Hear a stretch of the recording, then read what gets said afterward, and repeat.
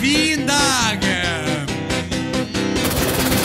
Det er en fin dag for betaling av skatt. Det er en fin, fin dag. Jeg har ikke sovet i natt, så Det er en fin dag, selv om bilen har punktitt. Det er en fin dag å la bilen stå.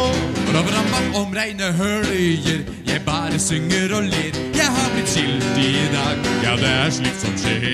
Skal jobbe og brukket pengepinn. Det er en fin dag, og bussen er sen. Mitt han legger sa, er trengs det Gud